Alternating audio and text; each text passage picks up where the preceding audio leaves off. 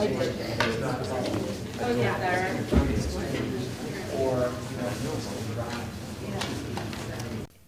want to thank everybody.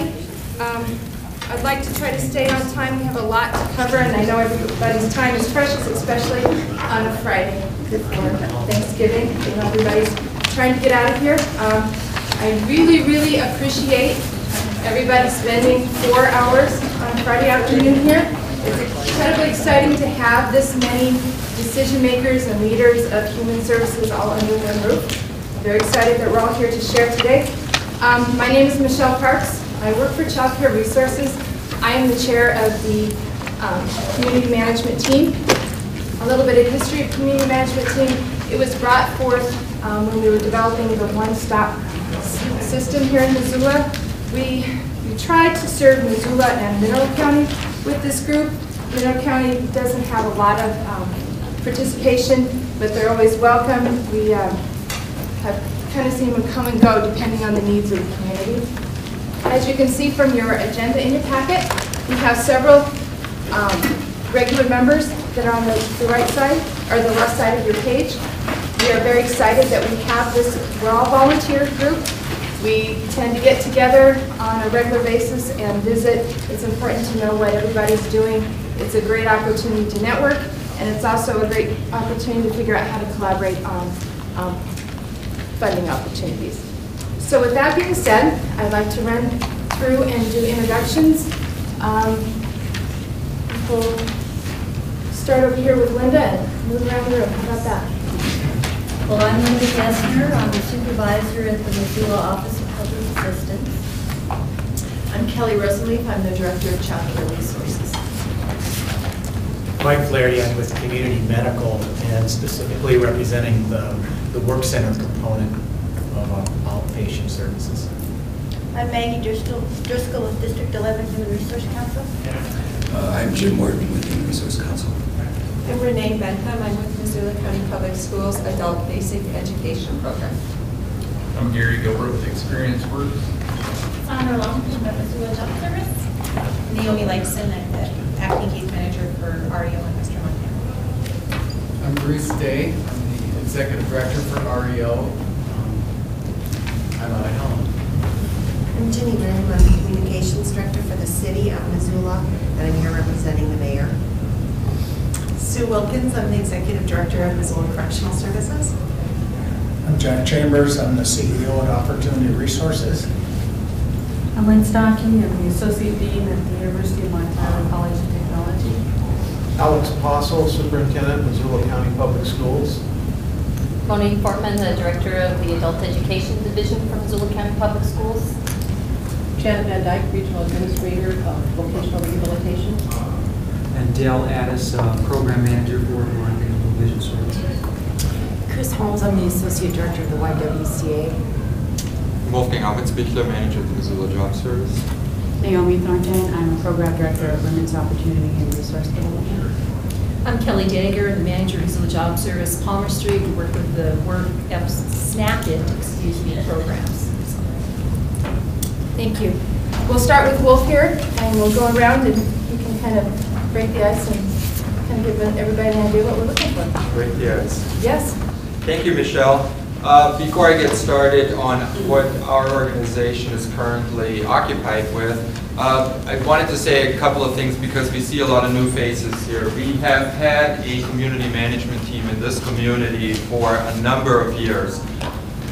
All the organizations that are here have been represented on that community management team in one form or another, either directly, such as Mo or myself, um, or Kelly, or through your staff. Uh, In the past, we had a mix of uh, staff members and leadership in a community management team represented. We've done some activities that revolved around cross-training uh, to make sure that our various organizations know what we do and how we can tie into each other's networks for the benefit of our joint customers that we have. Uh, It's a bewildering network of organizations out there that are trying to help. And for a consumer, it's sometimes very difficult to navigate through that network. And uh, the establishment of a community management team was intended to uh, at least alleviate that problem. So the first target was we educate our organizations and ourselves as what as to what is out there, and then we pass that knowledge on in our case management activities uh, for the benefit of our customers. Everybody who walks in gets to introduce themselves. Oh, excellent. Good. Hi, my name is Andrea Davis. I'm the Executive Director of Homeward, and I apologize for being late. Thank you, Drew. Thank you very much. We have Appreciate Jody it. That needs to introduce herself. I'm Jody Rasmussen from Adult Education. that, that kind of mix worked really well for some time, and we had discussion via a small core group of the CMT, what, what is kind of the next step for the CMT? And uh, we came up with this idea for a Human Services Leadership Summit. Uh, something that might happen two or three times a year, and the idea was not to go over again and again what it is that we all do in detail, but rather what are our respective bigger issues? What are we struggling with in this particular economic environment? Um, what are we gearing up for? What new initiatives, grants, et cetera, are we working on, and how are our organizations changing along with it? Tamara, you get to introduce yourself too. I'm Tamara, and I'm from the Housing Authority. Thank you. So uh, this is the first attempt to put a forum like this together and get some idea of, um, you know, what, what are some of the overriding issues for each organizations and how can we jointly help to address maybe an individual um, organization's issues besides being supportive in grant writing opportunities, et cetera. In other words, how can we strengthen the collaboration between those organizations?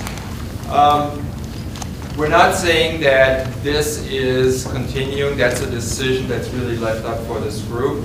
The second part of the day, we also want to throw out uh, the possibility of setting up a second network that is almost exclusively made up of our respective staffs to continue training efforts at that case management or at that worker level and make sure that at the line staff uh, level within each organizations, people know about what all is out there.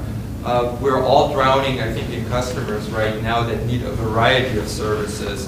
And it is sometimes, even for the professionals in this room, it's bewildering what all is out there and anything we can do to help train uh, our staff and ourselves is probably going to benefit our community quite a bit.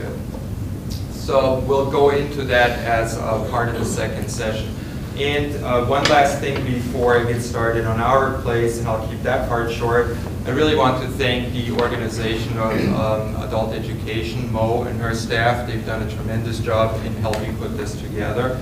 And uh, St. Pat's has been very gracious in making this room available. And again, uh, being supportive of that. Job service, um, for those of you that don't know what we do in a nutshell, we try to match job seekers with businesses. Uh, that's our bread and butter. We do a lot of that on an automated basis. We do not file claims for people, uh, unemployment claims, although there's still a misconception that we do. Uh, we haven't filed a claim in more than 10 years. It's been just about 12 years since we've done that. Uh, we are shifting more and more over to uh, human resource consulting, workforce consulting, and we have a variety of workforce training programs that kick in mostly during layoff situations. And here we are. Uh, we are busier than ever. Right now, we're running about, on a quiet day, 350 people through our doors uh, on between 7.30 and 5 o'clock. Not everybody's unemployed, but a lot of those folks are unemployed. Uh, so we're, we're experiencing a tremendous workload of people that come in through based on layoffs. We also do quite a bit of outreach. Uh, we have recently, with our partners from adult education, been up in St. Regis. Uh, the Tricon Timber Mill experienced a layoff of roughly 40 folks, and it's not looking real good. Uh, Stone Container, same thing, Pyramid Mountain Lumber, uh, Plum Creek, et cetera, et cetera. It just goes on and on.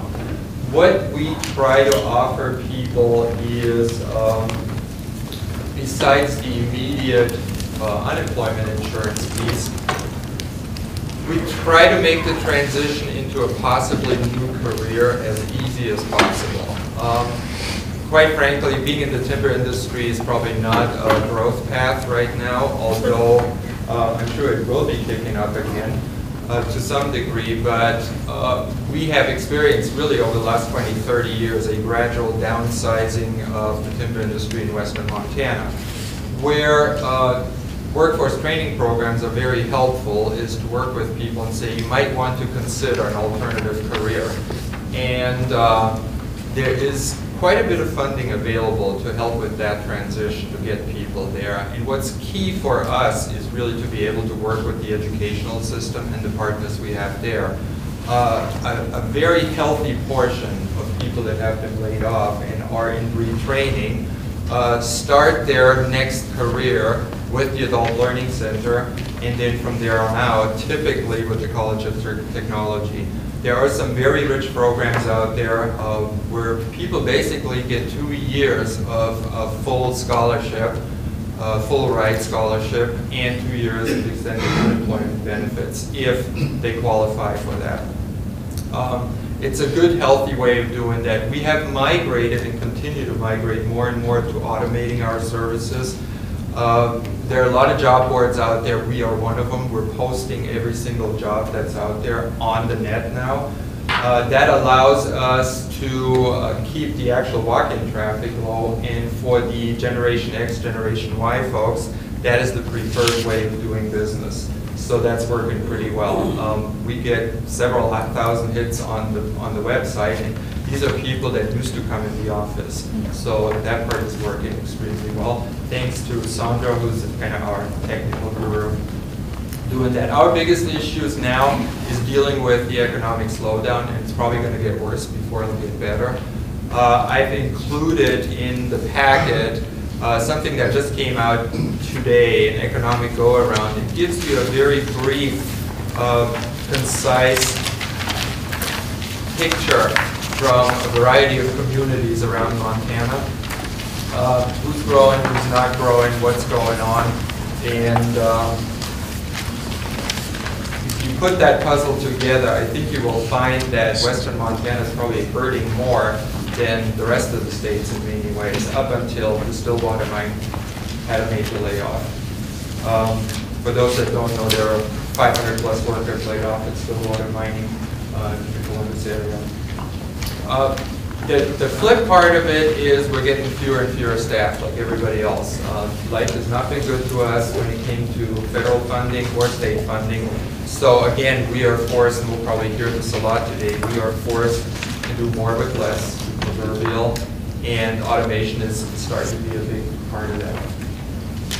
And with that, I'm probably out of time, right? Thank you. Naomi Thornton again with uh, Women's Opportunity and Resource Development, Word, as most people know it, and. um, Word- Naomi, Okay. or Word- maybe stand up. Would you like? you One. Um, Word has been around for 22 years now, so it's a very um, uh, grassroots organization in the way that it started, but it certainly has grown over the years. It has um, a large budget now and does a variety of things. And um, the mission of Word is to create opportunities and programs that support women's um, leadership development and choice uh, for the benefit of the whole community. So um, Word, our new executive director is Bonnie Buckingham, and she'll be joining us um, later. So Word works with many of Missoula's families that probably have the least resources. So Word has um, a number of programs that primarily work with homeless families or families that have a lot of um, housing instability. We have a program that works with young parents, um, the majority of whom in the program um, are high school dropouts. So we're very interested in linking people to all of the workforce development and other services in Missoula and, um, and feel that we can serve a very critical role with that. Um, in the past, Word has had more programming um, that um, could actually provide more things. We had the Gearing Up program, which actually provided training. And uh, two years ago, we lost kind of our final bit of um, funding for, for that program. Um, right now, we do have a a program for young fathers that's very focused on economic stability.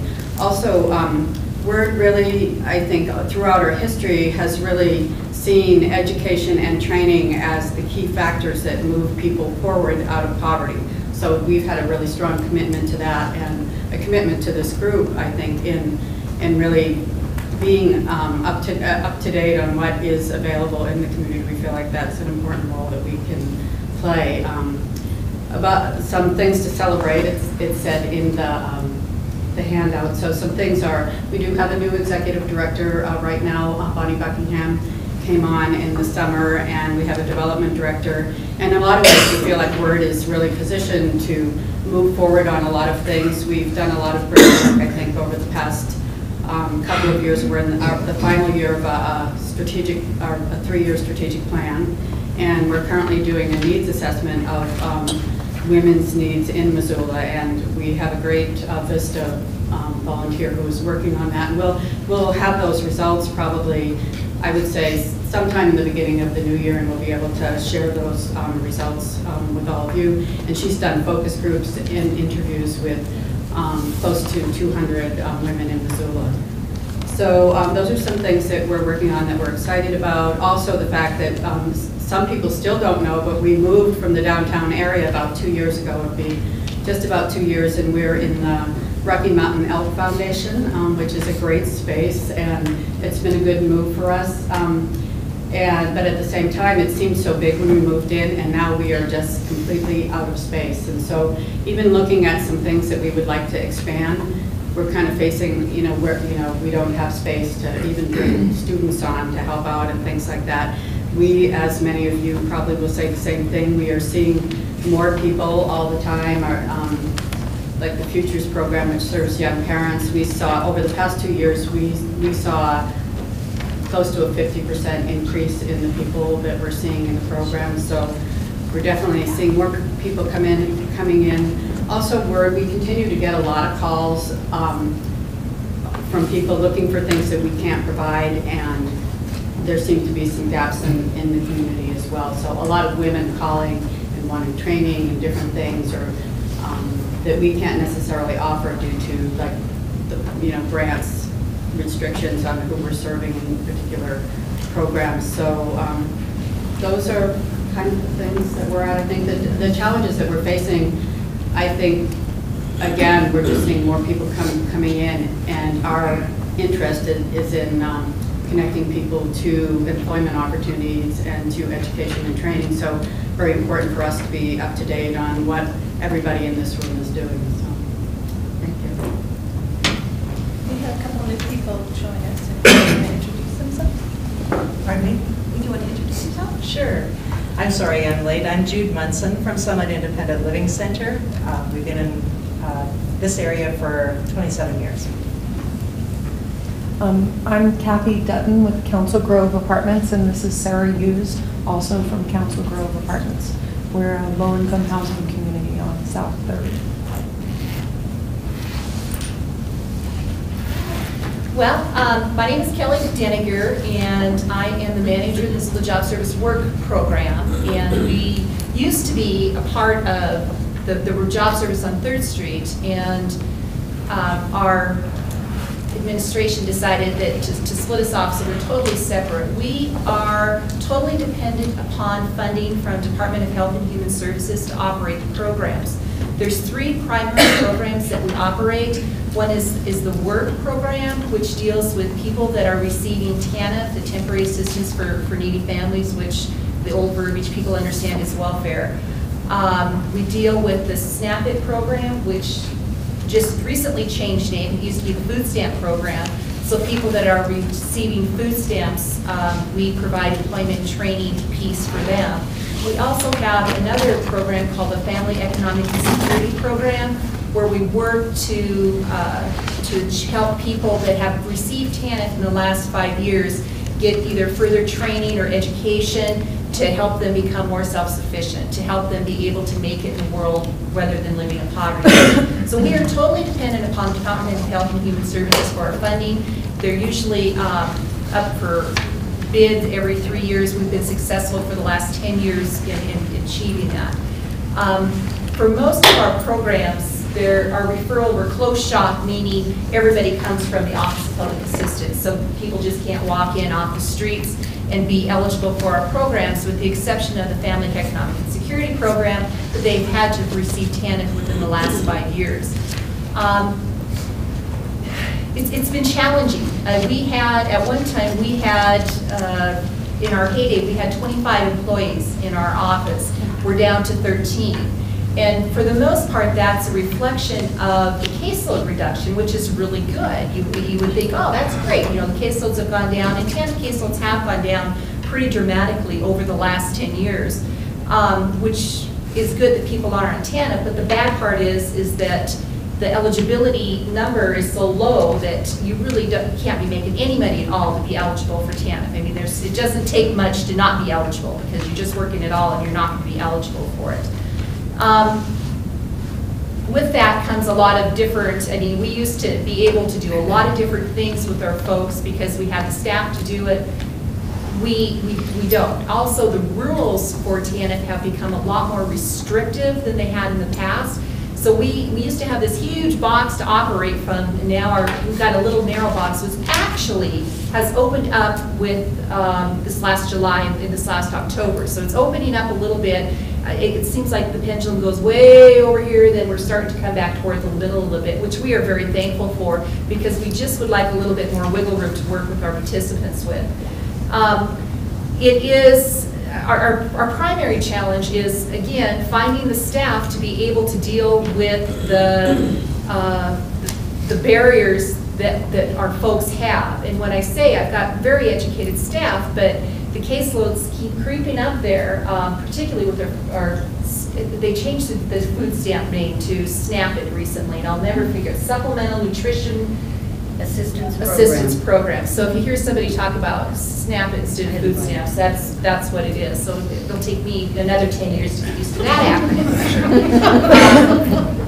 Numbers are phenomenal. I mean, I've got two case managers for that, because that's all I can afford. I can't afford anymore. They have caseloads of upwards of um, 80 people a piece right at this point in time. Pretty difficult to see them every week and do anything that is even close to case management, employment training activities when you have, when they're seen as much as they are. So um, it's very, it's been a challenge. We, I don't anticipate that it's going to get any better. Um, with our TANF population, we're not seeing a huge increase in that with all the different economic downturn because if they're eligible, if people are eligible for unemployment, it's not until they exhaust their unemployment that they're going to be eligible for the TANF program. So we anticipate that that'll probably be an increase down the road. And also with the lessening of some of the restrictions that we have with that. I think the bright spot in, in our office right now is the Family Economic Security Program. It is a special grant. There's seven statewide um, that we have from, that we wrote and got from Department of Health and Human Services, where we can put people in training, short-term training. We've done a lot with, um, with again, Dickinson um, Lifelong Learning Center with their medical uh, classes, the dental assistant classes, um, to help people get that, some of that short-term training that's going to put them in jobs that are more um, likely to be able to support their family, career-type positions. So we, we absolutely love that program. Um, And we hope it ends uh, June of of 2009, so we're hoping that it will be renewed. Um, it, it's tough. It's tough for everybody. We deal with most all, all of your agencies at one point or another because, of course, uh, when they're, when they're on TANF, that they, they just have, they have no resources. So. Well, my name is Linda Gessner. I'm a supervisor at the Missoula Office of Public Assistance, and I'm standing in for my boss, the county director, Chris Mitchell. She's out of the office today. Um, The State Department of uh, Health and Human Services administers a number of programs to assist low-income individuals to become self-sufficient. And uh, Kelly was just talking about the SNAP program. Um, The federal government has changed the name on that. A lot of states aren't changing it. They're still using food stamps, but Montana decided to go with Supplemental Nutrition Assistance Program. And this is to pro- provide for the nutritional needs of low-income individuals and families. Uh, We also administer um, many different Medicaid programs to assist folks with, or families, pregnant uh, ladies, um, age, blind, and disabled individuals with their medical needs. And then we have the Temporary Assistance for Needy Families, or TANF, and that's a cash assistance program, and it's time limited to 60 months per lifetime per household. Um, Our office's ultimate goal is to respectfully serve everyone who seeks our assistance in a timely and accurate manner, and to make accessibility to the benefits we provide as uncomplicated as possible. And to do this, we are striving for, uh, with the SNAP program, we're no longer required to have face-to-face interviews. We can do phone interviews, so we're really utilizing that to make accessibility more to everyone. And with the Medicaid program, the interviews are not required. So the only requirement to come in and do an actual face-to-face interview in our office is with the TANF program. Um, Our successes, well, even though the volume of applications that we receive is just increasing dramatically, we usually have a downswing. We didn't see that this year, and now with the economic state, um, particularly with SNAP and Medicaid applications, we're averaging about 45 a day, just in our office. So that's just tremendous to try to get all that going. We are seeing a lot of uh, parents obtaining employment and achieving success in that area, which reduces our TANF population or households. Unfortunately, even though they're finding employment, they're still not finding sufficient employment to be totally self-sufficient. So like I said, the SNAP and the Medicaid applications are just streaming in. Um, For the big picture, we're working on what's called shared caseloads. It has some aspects of the, the call centers. What we're looking at, we're just in the planning stage right now. Um, Part of the staff being in intake and part being maintenance. So we would just have so many of the adult caseload, or caseworkers, and so many family workers uh, would just work all of the maintenance cases, and then the other would do intake. We've done research so far with other um, offices of public assistance around the state that have tried this or are doing it right now, and it seems to be working really well for our customers and for the offices. So hopefully that will work, and maybe we can start in as soon as March. Um, We're also working on a a program for Medicaid, especially with HIPAA. We had to separate the Medicaid out. It's called CHIMES, and that stands for Combined Healthcare Information and Montana Eligibility System. We have an implementation date of July of 2009. And this should really assist with, well, our TEAMS program was implemented in 1992, so you can imagine how outdated that is. So hopefully that will get started, and also, um, after that's done, we're looking at a paperless offices. We're going to hopefully get scanners and not have all the file cabinets and, you know, trying to find different files for people and things like that, so. We're looking forward to it, we think it'll work good.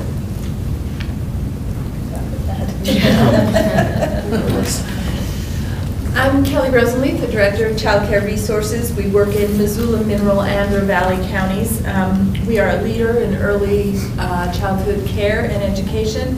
We promote high quality and accessible services to support and strengthen children, families, and communities. And to that end, we offer the following services. The first one is referrals to childcare. We help link families who need childcare to childcare facilities that have vacancies for that age of child and the schedule that that family needs it in the community that they need that care. So we maintain a database and update that regularly, and, and that is a free service that is available to anyone. It's not a needs-based service. We certainly do it a lot with um, lower income families on our scholarship caseload, but we do it a lot with uh, folks. I think in general, people will use it, um, as with any professional service, um, you know, you ask your friend where they use childcare and you see if you can go there like you might for a doctor or a dentist or something. But when that breaks down and people can't find childcare on their own, then, um, then they often come to us for that help. Um, And uh, our largest program is the Child Care Scholarship Program. Uh, We serve somewhere in the neighborhood of 900 children a month in the three-county region. Um, And we uh, pay, well, we, the government pays for the cost of uh, most or a portion of the child care for that family if they are 150% of the federal poverty level or below. So for a family of three, that's about uh, 2,300, 500, $23,500. It's about one person working, 1269 an hour. Just figured this out for a high school class. So um, you can have a pretty good job and still not be able to afford childcare for two children. And um, they'll have to pay about um, $200 a month then towards their childcare. We recently got a federal report, Montana has the seventh highest childcare costs the nation, and you know we do not have the seventh highest wages in the nation. So, um, so this is a program that is mostly federally funded, has some state funds involved in it, um, and that funding at the federal level has been flat for the past eight years, and we can only hope for better in the future. Um, we also offer training and technical assistance to the early childhood workforce. So for all child care providers in this region, we offer all kinds of workshops. We're moving to more intensive, um, comprehensive curriculums because that's the kind of stuff that actually results in change um, and change practice. And so we're doing more and more of that. Um, we do individualized technical assistance on site with facilities to address specific kinds of challenges they might have um, and needs that they might have in their programs. Then we um, administer a federal nutrition program, the Child Care Food Program, and it offers meal reimbursements to child care facilities that meet the uh, Department of Agriculture's definition of a nutritious meal, and don't even get me started on what that is. It's not my definition of a nutritious meal. And that is open for reauthorization, so I have commented that I don't think Pop-Tarts should be allowed. Um, Anyway, it's a little challenge there, so that's a health food.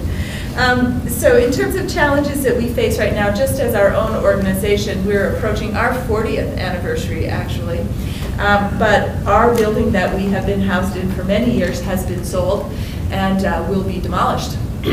And uh, we need to move, and we pay about one-third the market rate rent right now. And uh, that presents a pretty big problem.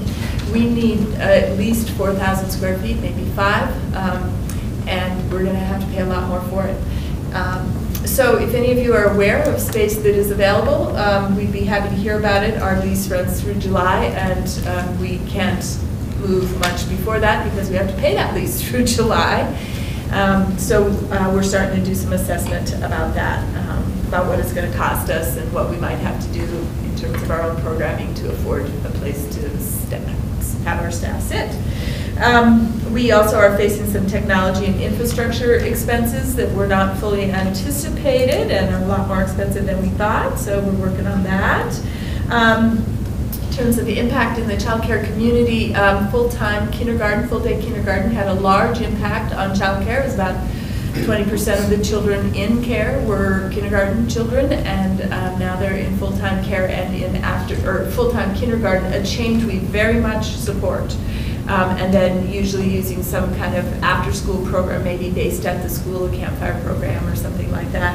And so that has created some vacancies in childcare settings, and we've seen a decline actually over the past several years in the number of childcare facilities, not just in our region, but statewide, and that has some to do with demographics and some to do with this implementation of full-time kindergarten.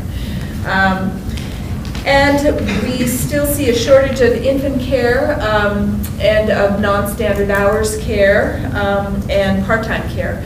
The standard market mechanisms of capitalism don't really work very well for childcare businesses. They're very small businesses, and infant care is very expensive to provide, and um, what you can charge parents doesn't cover it. So that's why a lot of folks won't take care of infants in a lot of programs. So increasingly, families are using informal care, um, and that care may in fact be very good. That might be a grandma, it might be a sister, it might be a neighbor, um, but we don't really know much about that. We it's very difficult to engage those folks in any kind of training or offer them any kind of support or guidance or anything. There's no requirement that they do anything like that. Um, And uh, so we don't really know what's happening to a significant, for a significant number of kids. And 68% of Montana's children under age five are, have all available parents in the workforce. So they're spending a good part of their day out of home care. Um, And there's a crisis in the early childhood workforce. Uh, It doesn't pay very well to work in a child care facility, and uh, there are usually no benefits. Um, And so it's difficult to find qualified, committed personnel and to retain them. And so many child care centers cannot find staff, cannot keep staff, are perpetually training new staff, and that is very disruptive for children to have uh, turnover in their primary caregiver for some time. And, you know, maybe with the downturn in the economy, people will stay in childcare. There could be a little um, silver lining to that cloud. In terms of successes for our organization, um, we have been working very hard for a long time to help facilities achieve national accreditation. That's a standard significantly higher than Montana's bare bones licensing requirements for childcare. And in our three county region, 12% of the facilities are nationally accredited at this time, and that is compared to a national statewide average of 3%. Um, And so they are, they have made a significant commitment to go above and beyond these um, health and safety uh, licensing requirements and to do, a bit- to do more in terms of the quality of care that they provide to the children in their, in their programs. Um, And in our region, we have just under half of the accredited facilities in the state of Montana are in this three-county region. Um, we offer extensive and comprehensive training program, um, moving away from the two-hour workshops and into the longer workshops, as I said. We're fundraising locally to support and supplement our scholarship program because there are a number of folks who fall through the cracks of the, the government rules for that scholarship program. So we raise money in the community and offer folks help, like when they apply for jobs. If you have people who are not on TANF, let's say, and, but they are applying for jobs and they need childcare, um, then that's uh, a scholarship we can offer them for some short-term childcare to- because otherwise they don't qualify. And where are those kids going to go? Well, they go to the job interview. Um, So we do that and some medical, um, some medical childcare for serious medical conditions and some summer camp programs and that type of thing. Our program also um, offers uh, technical assistance to providers serving children with special needs. And I would say that we have the best program state among our peer agencies for helping child care providers assess what's really going on with children and how to serve those children with special needs and challenging behaviors in group care and inclusive settings. And um, that's a really strong aspect of our program. What's new is that the changes, the state, um, that we're largely supported by the Department of Public Health and Human Services, um, and the state is changing the way it invests its funds in quality programs. And they're developing a program called STARS, um, which is a, like a five-star rating system like hotels have, and childcare facilities will be able to get a, up to a five-star rating, with accreditation being the highest rating. Um, And it provides a very clear path of this is what you need at one star, this is what you need to do to get two stars, very clear guidance to providers about what is necessary to achieve a certain level on the STAR program. Unfortunately, there um, is no new money for this program, and, um, you know, when we started the planning, we thought maybe the state would have some new money. It doesn't really look like the state's going to have any new money, and it doesn't look like foundations are going to have any money. Uh, So we're going to have a limited number of slots for that program, and it also will impact the way Child Care Resources itself is funded and how, you know, what we are contracted to do with providers. Very unclear how that's going to shake down, and we're just, you know, working with the state as they move that initiative forward with, uh, they intend to implement it in FY '10, and I don't know if they mean state fiscal year '10 or the federal fiscal year October, but soon, quite soon. Um, And it will impact the way quality funds are available to child care facilities and and individual child care providers. Um, And also, um, there's a national error rate uh, coming down from the federal government regarding the scholarship program and uh, calculation about mistakes in people who get child care scholarships and shouldn't, under whatever rules the state has devised. Michelle Parks from our program is on um, a committee that's working on that. at the um, state level to see how we're going to implement that. I'm not particularly worried at Child Care Resources. I think our caseworkers are doing a very good job, but um, in some areas of the state and around the country, this, this could be a problem for some contractors. And am I up? Okay, there we go. It's all right. You need one of those green red lights. Yes. Congressional hearing. So this isn't the room for the bailout, is it? I come to the wrong place, apparently. Uh, My name is Mike Flaherty, and um, my purpose here today is to represent one of the programs that I provide uh, management support to. And the program specifically is the Work Center. And as I work, I get progressively more visually challenged. So I'm using stronger and thicker lenses all the time, still in the vision loss denial. The Work Center's been around for a long time, and many of you around this table may know of it. I hope that most of you know of Community Medical Center, and it has housed and supported the vision and mission of the Work Center for a, a, a long time, many, many years. And uh, our primary uh, vision is to assist persons with disabilities, obviously, securing employment. And I think it's um, quite profound. I'm only the fifth person in queue, sixth person in queue now, to uh, express, you know, what our challenges, successes, and what our uh, options are for growth in the future. And I've made some notes here, and I'm thinking the themes are going to be pretty much the same as we go around the table.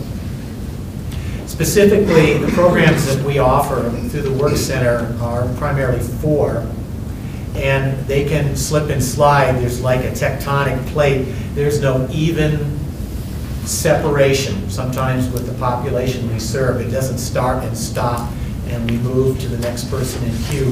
There are a lot of overlapping issues, and some of those things I'll mention when I talk about our challenges. And we do have a population served, which is a wide variety of disabilities. And as our medical applications get better, so do we create more opportunities for persons who can work, who want to work, and with the proper assistance, um, will be able to join the workforce. We uh, can work with almost any disability representing any population, and caseloads too, as mentioned in some of my peer population today, are pretty challenging. And we have worked on occasion with uh, sources. Our primary source has been our relationship with uh, state VR. We have had some uh, veterans served and would like to expand that population of service. We don't have a lot of independent or private payer represented in our financial mix. But I think that may change, could change, but it all depends on demographics and fiscal supports. Primarily, we're doing vocational evaluation. Uh, we do community-based experience, employment services, and also supported employment and job coaching. And right now, we have been fairly active in all those areas, and we are trying to expand all those areas pending additional supports, funding, and all the other challenges that most of you are facing, and I'm expecting to hear more of the same from my notes I just made. We have uh, three challenges that we've basically, as a group or as staff, have indicated that are primary challenges. And obviously, medical needs uh, of our population not, are not always met. Uh, outside of what we can do and what the hospital may be doing with this person as a shared client or patient, there are some things that uh, need to work with in terms of health issues that may impact and often do impact employment. And some may be more cosmetic. I remember 30 plus years of working in and around this community, some things such as things we might take for granted, just our dental appearance, can be a rather profound issue in presenting for employment. And most of us, hopefully all of us, have some sound dental plan but those are going the way fast. But that's just one issue that often is probably overlooked by the general population, how important that is as a health need. And other related issues too that I don't have time to address. Housing, transportation, and food. They- Those things come up. Probably transportation is the key element, and I know that the city is trying to address that. They have done some expansion of public transportation, and it, obviously, it doesn't touch all the places people need to go at all times. So transportation is often a barrier. Um, Housing and food, just the basic necessities for uh, getting a person in a place where they're stable, ready to work, uh, have the opportunity of nutrition and rest so that uh, those things aren't going to complicate an already difficult employment situation. And obviously, the most important, and I'm expecting that the demographics of, of economic downturn, which for Montana, our boats and the tide is not ever raised to national levels when things are good. And it seems like the drain is pulled out of the bathtub fastest and quickest here. And we have some severe and profound issues that, that to me are quite daunting. On successes, we have had successes, and one of our most recent successes is, again, a three-year accreditation with CARF. And this is the accreditation agency that recognizes superior performance in terms of how we provide services and how we connect with our, our greater community. And we also have, and I'll mention it as part of our future goal too, a plan to move to a larger facility that will give us hopefully uh, more visibility and a platform to launch into other areas. And those other areas I mentioned uh, briefly in just a few moments. We've worked with over 1,200 people in the last five years. And in our expansion, we're providing and trying to provide more benefits analysis, an additional service. I guess we could call it a value added. It's pretty important. We talk about social security issues and support and assistance. And I always find it uh, quite daunting. I don't know if any of you, most of you work with social security issues at some point. You're looking at economic baselines for your clientele. You need to be a near Nobel scientist in math and economics to understand a lot of this. And just going around the room hearing all of the acronyms of who we are and how it's changing, SNAP and CHIMES, and everything continues to change. And I find myself, quite honestly, confused, like, wow, there's a lot of stuff out there. And our clientele often are not buffered with education and jobs, and that stuff is just like a tsunami that washes over them, and they're just standing there, well, just tell me what I need to do, how I need to do it, and how I fill in this line. And just one thing that struck me yesterday, we had, uh, before I left the office, we had a person who had uh, need for an eye exam. And of course, again, um, you know, I, well, everybody can read an eye chart. This person did not have, as an adult, even the education or knowledge of an eye chart. And it really struck me, you know, again, the overwhelming amount of duress in their lives. The future goals, location is one, a relocation that we're looking at is probably right on the horizon, really close, and once the hospital signs its uh, appropriate papers, we'll be moving three departments, likely to a Palmer location. I think we're just about there. We need to expand, and obviously referring agents, uh, foundations, grants. I've written two unsuccessful grants in the last eight months. And I think I can join quite a legion of people that have done that. You know, looking at private, and, and I'm, I'm not embarrassed to say that anymore because it happens a lot. So don't need to take any more time. The red button is flashing. Done. Good morning, I'll stand up. I hope you can hear me. Uh, My name is Jim Morton, I'm with the Human Resource Council. Uh, And uh, Maggie gave me this watch, but like Mike, I can't see it But Michelle said she has the hook ready. All right. Uh, Well, again, uh, it's really great to see everybody here. Uh, The Human Resource Council was uh, formed in 1965. Uh, I haven't been there that long, but close. Uh, But close, yeah. We have programs that are, uh, for the most part, uh, funded by the federal government through congressional appropriation. We've been operating a youth employment program since about 1966. And uh, that's changed over the years, again, because of funding. And actually, uh, because of the way that the state of Montana decided to allocate its uh, funds, we had a significant uh, decrease, which amounted to almost $100,000 a year, which is huge. Uh, Those dollars went to other counties that have less population and uh, probably better economies. But uh, we don't have control over that, so that's certainly a- something we've faced in the last two years. In terms of our work uh, with uh, uh, non-federal dollars, the uh, Missoula County Commissioners fund us to assist people who are basically indigent and who are applying for disability benefits. Uh, You've heard uh, description about how daunting that can be and understanding the listings for the Social Security Administration in terms of what constitutes a disability. That process is about a 24-month process, so that the county funds are able to assist people with basic needs, mainly uh, housing and utilities. We also assist them in finding representation and finding the physicians and the uh, uh, psychiatric and psychological testimony that's needed in front of a hearings officer.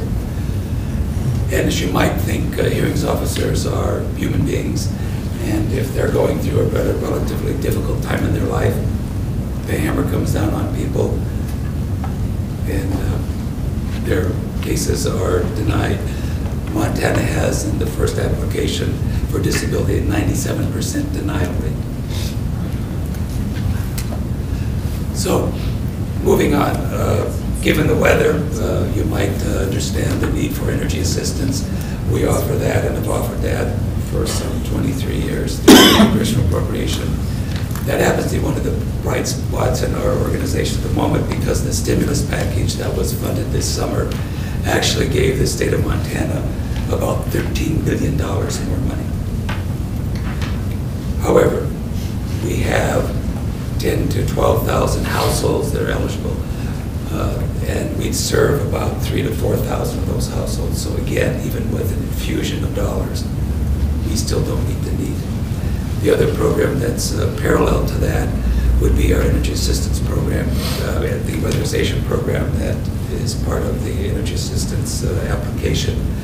When you come in into our office, you'll fill out an application for energy assistance. That same application is used to receive weatherization. We actually go into the house, look at the structure, look at the indoor air quality, which is now a big, a big issue with us because for some time people thought, well, you need to tighten up your house.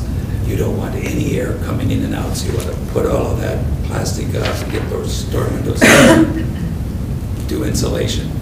Problem is that a house has to breathe, so air has to come in and go out on a routine basis, otherwise you get sick. You also can actually have something happen in, in terms of uh, heating appliances that use fossil fuel. They use oxygen to combust. They're drawing the oxygen in the house. And if you don't have the air exchange, what is returned is carbon monoxide. So that's also prevalent. A lot of folks will tell us, well, we have a cold that's just, we can't get over. My kids always have some sort of an illness. Well, once we go and look at the air exchange, look at the furnace, some of that starts to diminish because actually the house is healthier. Um, We also, in terms of housing, offer the Section 8 Assistance Program. Uh, The Housing Authority, Tamara will probably give you more information on that, so I'll skip some of that and and let you, uh, because the hook might, you know. So uh, uh, that waiting list there is about 18 months to 24 months. In the Section 8 program, the families are assisted. Uh, The uh, rule of thumb is that the families to spend 30 to 40 percent of their income on utilities and rent. So the difference between that and what the rents cost, uh, we uh, provide in terms of assistance. One of the concerns there is that the housing development caps the amount that we can spend on rent. So some rentals and a growing number of rentals in this town are not available to our Section 8 voucher holders because the rents exceed what the federal government says is reasonable. So once our clients they get in a situation of having to move, sometimes there's just no place for them to move. Uh, The other program that many of you, I hope, use is the 211 uh, Information Referral Service. Uh, Our organization was the uh, first 211 in the state. Uh, You dial 211 except on cell phones. We're trying to work through that, but that's kind of a different kind of approach because they're not regulated. Uh, Those of you who've had any trouble with your own cell phone will know that there ain't nobody you can call uh, because they're not regulated private entity other than the Federal Communications Commission. So hopefully we will have 211 available for cell phone users. Uh, 211 has about 800 to 1,000 resources in its data bank. You call there, the idea is that we're trying to get information to people. You don't have to be low income. You can call on a number of issues from uh, nutrition to child care to uh, programs that are income uh, limited. That program uh, just rece- received national accreditation. There are two other uh, information referral services in Montana that are nationally accredited, so we're pleased about that. Uh, In terms of successes, the Montana, uh, have I left anything out? Okay. Um, Housing. We uh, develop housing, we build housing for first-time homebuyers. Uh, We also provide a loan of uh, down payment assistance up to $35,000. That $35,000 is not amortized, so you don't make a monthly payment. It is in fact returned to us upon sale. So what happens then is because of the high cost of housing, most people can't afford a house. So we give them the 35,000, which means they have more purchasing power and actually move into a home. Uh, the, uh, uh, success that I was going to mention is with the legislature. In the terms of housing, Montana has one of the highest per capita rates of use of mobile homes for housing in the United States. Uh, Those houses, uh, pre-76, were built to no code. They have aluminum wiring. The fire marshals will tell you that they will be fully engulfed in flame when there's a fire in less than one minute. So think about one minute. That's about what I got left, right? Two. Uh, so 28,000 of these are in our state, badly uh, in need of rehab, By the way they're built, you can't hardly do anything with them. So the governor last session included $3 million in his budget to replace mobile homes. Uh, And uh, our organization and the HRDC, Human Resource Development Council of Billings, presented a paper to him and his staff, and graciously accepted our request, so we had $3 million. It got good bipartisan support, which in the last session, as you all know, was pretty contentious and was somewhat nasty, to to be polite. Uh, The money got through both houses, but in this special session was reduced to 300,000 go figure, but it's back in the governor's budget, so again, that's great. Uh, The challenge, of course, is that we have more and more, like all of you, requirements, more and more uh, need, and fewer and fewer dollars for staff, and fewer and fewer dollars to get staff to training, to get them maybe some more benefits, and to keep up just with the cost of living. And so our challenge often is just making sure that we keep staff, because that turnover causes you know, a disruption, and also the clients don't have the benefit of the staff who've been around a while and understand how to get them through this, this maze that we call human services. So with that, thank you. I'm going to pass. Monique's going to talk about all of adult education when it gets to her. Um, As I said earlier, my name is Gary Gilbert. I'm the Employment Training Coordinator with Experience Works, and I cover Northwest Montana. Um, A little bit about Experience Works, we're a, it's a nationwide nonprofit, and my office is based out of Missoula, like like I said, Northwest Montana. We serve people that are 55 and older. Uh, low income and unemployed. Those are the, the main three requirements. Uh, We help participants to receive training that leads to employment in their community, and we do that by placing them at what we call a host agency, which has to be either a a nonprofit or a government agency, so like a Red Cross, Salvation Army, or be a public library, or a school, or a city or county office, a federal office, those kind of things. We place them into that host agency, and the host agency actually trains them to do whatever it is that they need them to do while they're there. So it might be in a reception type position, they would be teaching them how to do the multi-line phones and, and uh, filing and doing some of those kind of things, or uh, you know, whatever it is that they would need them to do. We're gonna place them there twenty hours a week, and Experience Works pays them six fifty-five an hour for those twenty hours a week. Um, During that time, about three to four months into the program, we start helping that person looking at jobs in the community, that they can use that experience to get a job in the community, doing what they're doing, or using that recent verifiable experience and all those things to help get that job in the community. Um, kind of some of the, the trends and things that we're seeing since we work with low income and unemployed, we're definitely seeing a, a lot more people coming into the program, uh, wanting to utilize our services. Um, you know, the 55 and older, a lot on the uh, social security and things that haven't quite kept up with some of the other uh, increases in foods and gas and things like that. So we're definitely seeing a lot more people coming into the program that way.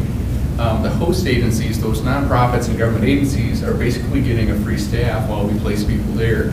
Um, so we're having no shortage of host agencies calling I'm sure people calling us saying, hey, can we get uh, somebody from your organization to come watch our front desk, or to come, uh, you know, do the maintenance, or do these things because we, we're short people now. Uh, so we're definitely having a lot of people calling for uh, wanting to become host agencies. Um, The, the other end of it is that since we are trying to place them into an employment position, that training side is just temporary, so we're trying to get them into actual employment, and that is obviously getting harder as the unemployment goes up and the employers kind of tighten their budgets. Uh, So there is, uh, there's definitely some of that that's uh, a trend that's going on. Things that might help, and some of the things that we focus on is educating employers on, uh, you know, the benefits of hiring older workers. Um, They can save money in the long run from not having to train and retrain, and uh, the experience and things they can bring in can be very valuable. Uh, A lot of our participants are more likely to ride a bus than they are to ride a bike, so I'm kind of an advocate of uh, public transportation and expanding those hours and um, being able to, it opens up, you know, the evening jobs and uh, the night jobs, and some of those open up to a lot more if there's more of that transportation is available to them.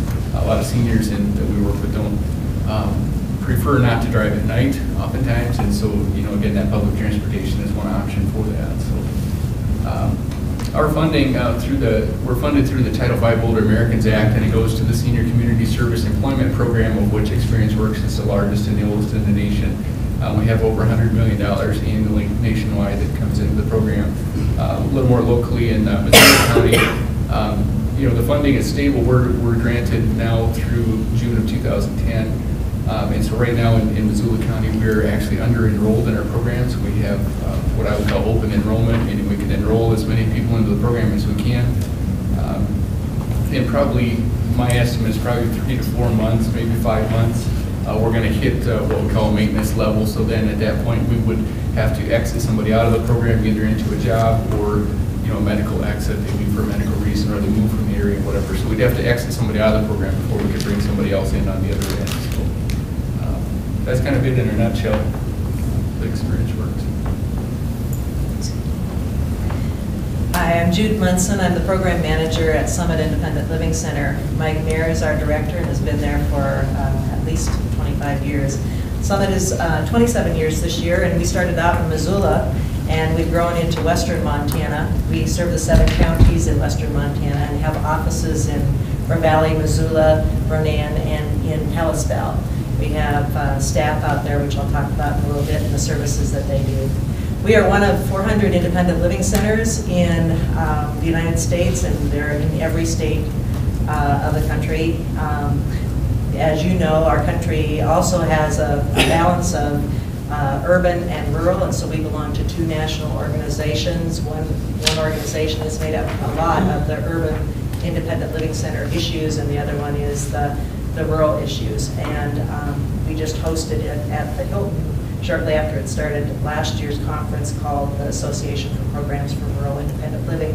It was the first time in 10 years that we were able to bring so many people with disabilities into Missoula. It was very exciting um, because many people needed uh, bus from the airport, they needed accessible motel rooms, and uh, we we, it was because of Mountain Line and all of the people in town, like Opportunity Resources working with us, and, you know, just really putting together a package where we can serve people with disabilities nationally and bring them into our town, and- and that was, it was just an exciting moment for us. Um, I'll talk a little bit about our services. Um, I guess first the funding. Our funding comes from Title VII of the Rehab Act. Uh, We are, uh, we receive our funds directly from the federal government, although uh, some of the other three centers in Montana, the independent living centers, which are in Great Falls and Billings and Helena, receive some state funds as well. We receive a small package because we believe that uh, there needs to be parity amongst the four centers in Montana. Um, Our vision is to uh, educate and and work and advocate uh, with and teach people how to uh, learn more about how they can direct their lives. And it often is in the field of home and community, but also to support the employment that they would love to pursue. And so we work with some of the people around this table um, about employment. Um, Our information and referral uh, calls come through phone, email, through our website, through our action alert. And so that's been huge with the technology changes. And so we've had to constantly upgrade our, our, uh, just our own equipment in our office just to, to keep up and maintain that. But we know we live in a rural state. So on the other hand, we need to keep the hard copies, we need to keep the, the general public relations and connections through um, paper as well. Um, In regard to information referral, a lot of what you all are here today and do is what we um, often comment about. Do you know about this resource? Do you know about 211? And and we walk them through that process the first time. If they need further services, we we ask them if they would like to apply for our services, and then we walk them through the the stages of, is it a self-advocacy issue? Is it a particular housing appeal process? Or is it just not understanding how to go through the process of the Social Security appeal process? And so we're partners in that, in that um, learning uh, stages with them. Um, We also provide, uh, in addition to that self-advocacy component, because our, our belief is if you teach the skill, the same package of self-advocacy, they can use that in another setting, and they may again need our support. That support might come through a staff member, it might come through a peer advocate. Peer advocates is the third component of what we do, and that basically is someone with a disability going through our training, and, and it's about a 20-hour training, basically to, to understand their own process of how they come to terms and how they uh, feel comfortable sharing their experience with other people with disabilities. They might be matched one-on-one, or they might get involved in community activities, or they might get involved in the legislature, which is coming up. Um, And then another component of our direct services is um, this independent living skills training. We have over 25 different kinds of modules uh, where people can come in one-on-one or in class settings and learn about uh, some of the skills that they are discovering uh, they could uh, brush up on. And so some of it is simply assertiveness or uh, better communication skills. It could be living well, which we contract through with the Rural Institute. It could be working well. Uh, We have some programs specifically for women with disabilities, um, such as self-esteem and safety awareness program.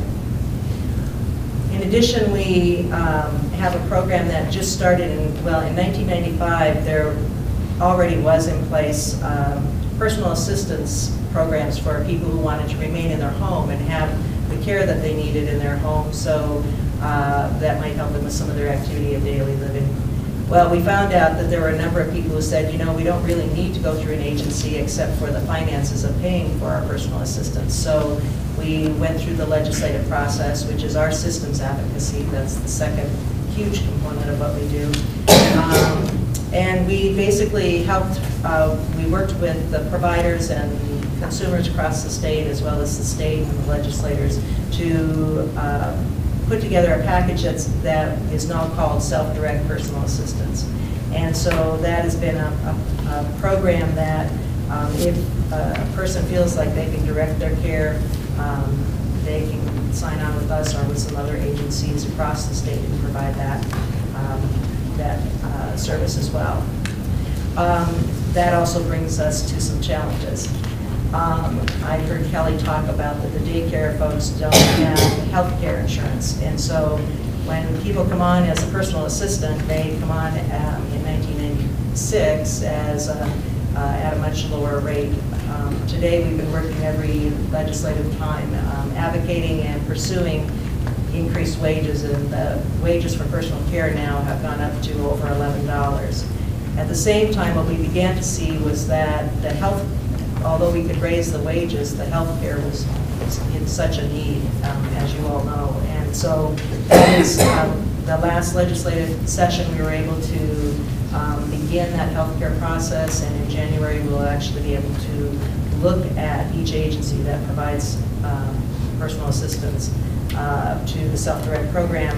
We'll be able to look at what health care insurance is needed and, and what we can provide, and depending on if they're on full-time or part-time, how we can adjust that.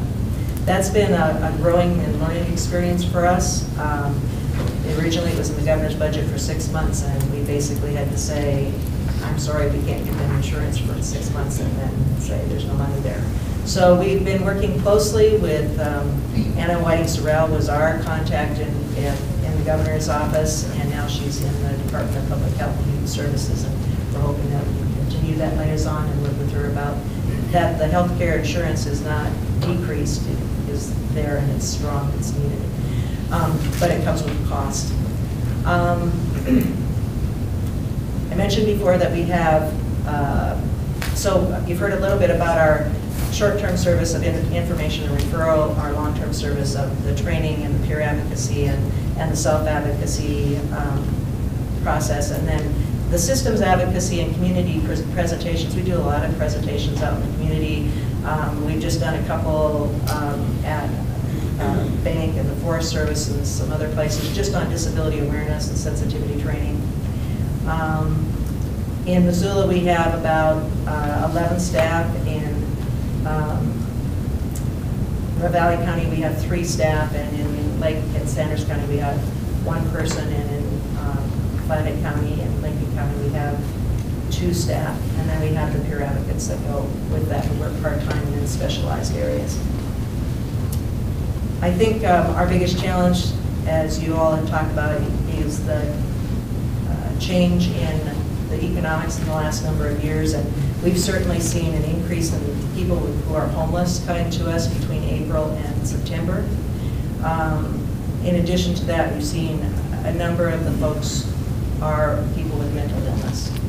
And because we're right across the hall from Social Security, um, they stop in and we, we talk. And um, we are not a crisis center, but we try to lead them through, um, again, that information and referral process and what they can do. Um, The other challenge, uh, in addition to um, the health insurance for personal assistant, uh, is the Medicaid buy-in program. And what we see with people who are wanting to go back to work is they can go back to work um, if that's um, what they feel skilled and ready to do.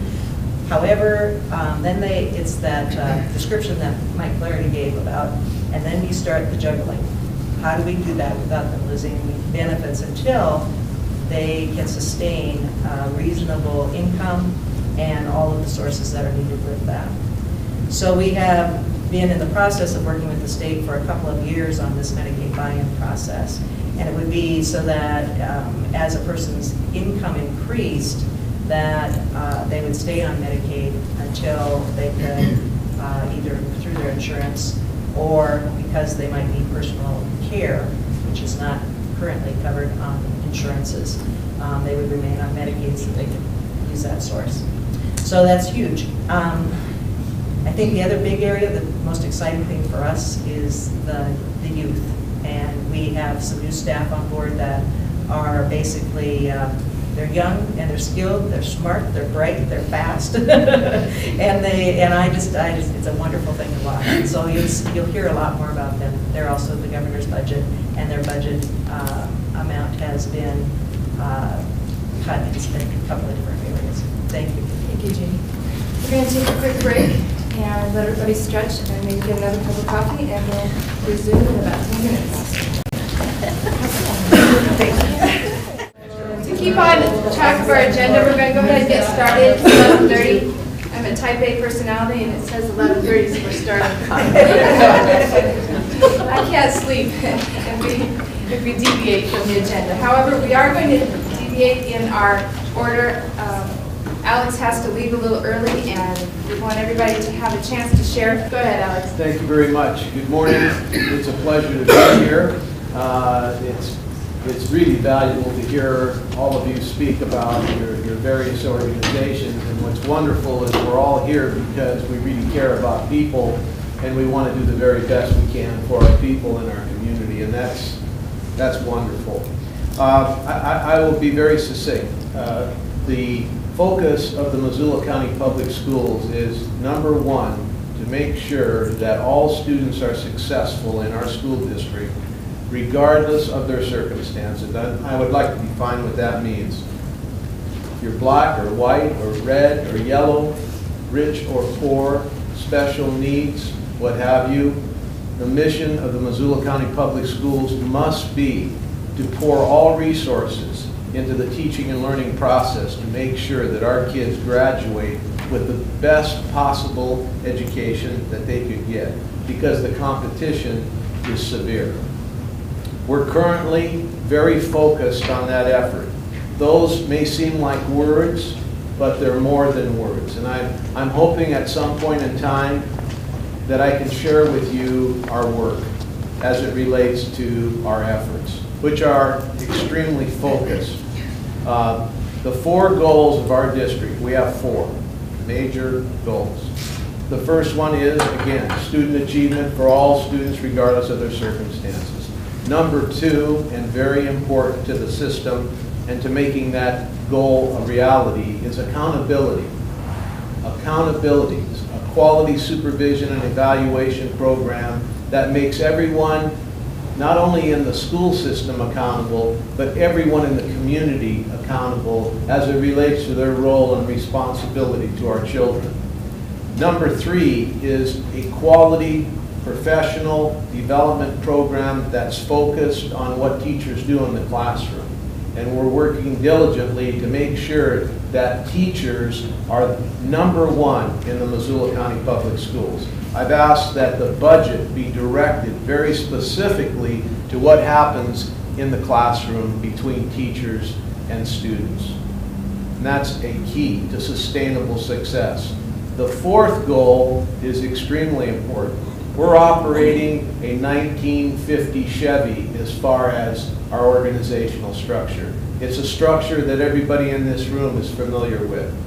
That system will not get us to where we want to be in terms of teaching and learning and making sure that all students are successful. So we're in the process of restructuring our school district so that all resources and all personnel are focused on children and what goes on in the classroom. And again, I, I would love to come back in some format to share with you very specifically what that, what that means. Now, beyond this major effort to truly define student uh, achievement, we have a second effort that's getting underway. And it's an, a very important effort that I believe is necessary to preserve the quality of life in our country. And that is schools for the 21st century, communities for the 21st century, and learning for the 21st century so that we can stop the mockery that we all receive about our educational system from the rest of the world. The fact that we're 24th in the world in math and science. I'm tired of hearing about that. And we have the strength here in Missoula to make a difference. This is the most spirited community I have ever witnessed or lived in. I come from Tacoma, Washington. I spent time in Scottsdale, Arizona with my wife, and those cities have spirit. And I've lived other places too. But no city, no town that I've ever been associated with has the spirit and the determination that this city has. It is phenomenal. And I believe truly that education is the economic core to substantiate, substantiate everything we believe in in this city and in this country. And this is a time that we can determine our own destiny as it relates to our school system and our community. And we can do that by coming together, the university, all of you, the community, the parents, the business community. We all need to come together. This is not a time for excuses and alibis. It is not a time for finger pointing. It is a time for Missoula to come together for the sake of our children and develop a system that is second to none. We have the wherewithal in this community to make that a reality. This is not a dress re- rehearsal for me. This is the real deal. I came, I, I feel very fortunate to be in this position. I made a big decision in my life to do this. And I want good things for the community and for our students. So I'm going to try to engage as many people as I can as it relates to this important issue of 21st century schools and community. We can do it. And it's going to cost money to move the system in this direction. We know that. But together, if we have a plan, we can go to the private sector, we can go to the government, we can go to private benefactors and say, look, this is for our kids, this is for our country, this is for our city. We need your help, but we'll have a plan. It won't be the state throwing money at us and we don't really have a plan. In many instances, the state has given school districts money with no accountability. That hurts us. What I'm saying, we as a community need to put the plan together and say to the powers that be, we're ready to move. And it's going to cost $50 million. But the educational system is the core of everything that we do.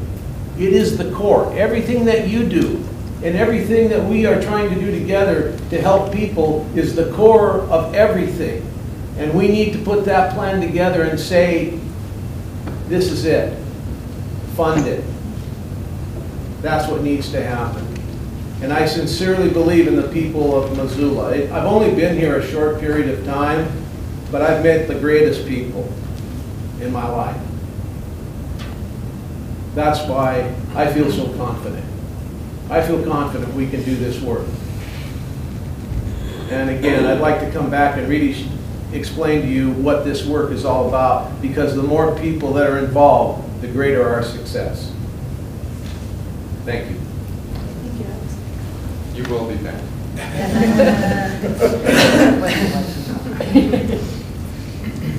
Go back over here. Sure, if we're continuing that way. Hi again, my name is Bruce Day, and I'm the Executive Director of Rural Employment Opportunities. Uh, Introduced ourselves earlier as REO. Somehow over the years, we've become better known by our initials than by by our name, but um, uh, Rural Employment Opportunities has uh, been around since 1981. Um, And our mission and our work is focused on supporting individuals and families in rural communities uh, throughout the state. We're a statewide organization, and the focus of that support is in um, providing education and workforce development activities. Right now, we're currently providing that in three different kinds of program areas, um, two of which are employment and training or workforce development kinds of activities. Um, The first and the longest program which we've offered is um, now known as the National Farm Worker Jobs Program. Um, It's a direct federal grant, and we are the Montana grantee for that um, to serve or provide employment and job training services to seasonal and migrant farm workers. Uh, Or in Montana, we like to say seasonal and migrant farm and ranch workers. It's very important to include that. Um, We provide a number of services to participants in that program, uh, including assisting them uh, with direct placement into employment, sometimes uh, assisting them with educational and job training activities that will help them achieve placement in uh, year-round, higher wage, higher paying employment than they've been experiencing as an unemployed or underemployed uh, ranch or farm worker. Um, Another project which we took on in uh, August of 2006 as one of the uh, grantees for the um, Family Economic Security Services demonstration projects through the um, Department of Public Health and Human Services is called Rural Montana Saves. And in that project, we are in partnership with the Montana Credit Union Network, uh, the Student Assistance Foundation, and local credit unions throughout Montana. Um, There is in that project or in that program uh, a family or an economic literacy component. And so each participant is required to, uh, to take on that economic literacy component and to uh, succeed in completing it. Um, There's an education and career planning component, and then there's an individual asset account or matched savings component in which um, they open up accounts with a local credit union and their savings are matched on a six to one basis. It's quite generous match. Um, so they can save, if they save up to $500 or a maximum of $500, they'll get a $3,000 match, which they can use for purposes of education or job training. Um, and that's been uh, a good success for us. Uh, That, that grant will end uh, June 30th of this year. As others in the room have mentioned, you know, we're hoping for uh, some extension or continued funding of that project uh, into the future. And our project is, uh, is limited to participants in all non-urban and non-reservation counties in Montana. So it's, it's a very rural focus um, for us. So those are our workforce-related activities. We also um, operate or provide a number of services as a grantee for the Office of Public Instruction Migrant Education Program.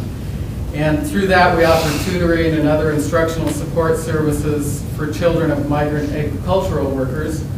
Um, much of that work is done in the summer with the summer tutoring project at Flathead Lake, um, technology instruction at eight sites in Montana, including one at Hawthorne School here in Missoula in the summer.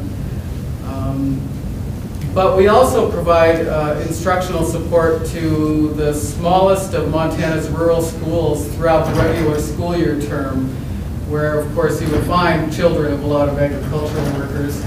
Um, and so those are other activities that our organization provides. Um, we are a statewide organization, as I mentioned, and that's one of our challenges, of course, is that we have an obligation to be accessible and to provide outreach to 56 counties in Montana. Um, we, up until recently, uh, had an office in Missoula at the uh, annex near the job service. Um, but for a variety of reasons, including where our clients have been located in the past five years and, and some fairly substantial projects in the summer at around Flathead Lake. We've relocated that office to Polson, but we are still an active member and want to be an active member in the Missoula CMT and our case management or field staff will continue to work um, in the Missoula area uh, regularly and actively. But uh, even for the case manager in northwestern Montana, that's a challenge to cover seven or eight counties. Um, so one challenge, like everyone else, we've had, you know, is, is around budget, uh, supporting especially those outreach activities and, and, travel that go along with that. Um, our budget has, uh, in, in 2003, we actually had a fairly significant cut of 15%, which was $100,000 in our grant for the National Farm Worker Jobs Program. Um, and that, uh, other than that, we've uh, remained flat funded in that, for that grant over the last uh, five years. And um, our funding has uh, increased as we've taken on other projects, including the Rural Montana Saves. Um, we are also in the process, so in terms of news, we've recently moved our office. We've had some staff transition, which is the reason I'm here representing our organization uh, today. Um, both that and because of my interest in, in what's happening, but Um, We're in the process of hiring a, a- a case manager on a permanent basis. Um, Naomi has been, Naomi's actually a longtime employee of Rural Employment Opportunities uh, for a number of our seasonal projects, and, and she's currently working in that position on an acting basis. Um, In addition to the case manager here, we have uh, case managers that cover the rest of the bulk of the state. So again, that's a challenge for us. Um, Other challenges, uh, conducting outreach over a wide area and in primarily, or in a lot of, in all rural counties, I guess.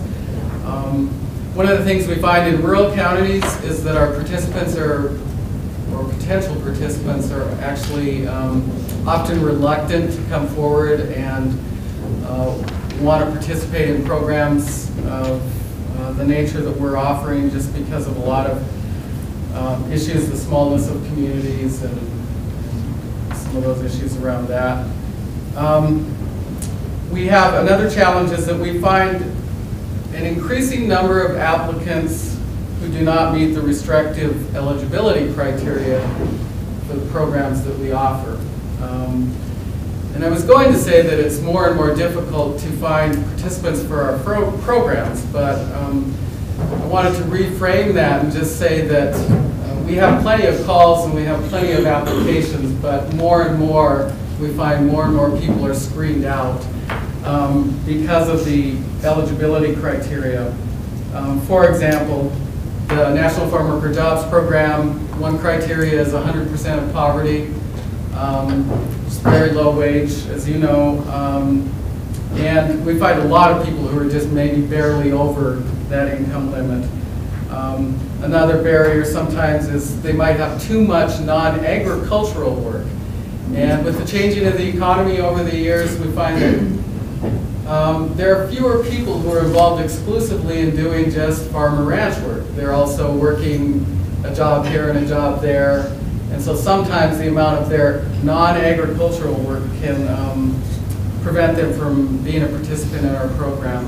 And then for rural Montana Saves in rural counties, the TANF rules, um, and, you know, that's one of the eligibility criteria is having been a TANF participant in the last five years. Um, TANF rolls have just uh, dropped substantially during that time period, so there's a- even a smaller base there for us to work with. I mention that, it's important to mention it because it's frustrating for people who apply for those programs not to be eligible. Um, It's frustrating for our staff, but it's also frustrating for other organizations that provide referrals to us to send people our way and then find they don't um, qualify. Um, I think my time's up and I'll stop there, but thank you.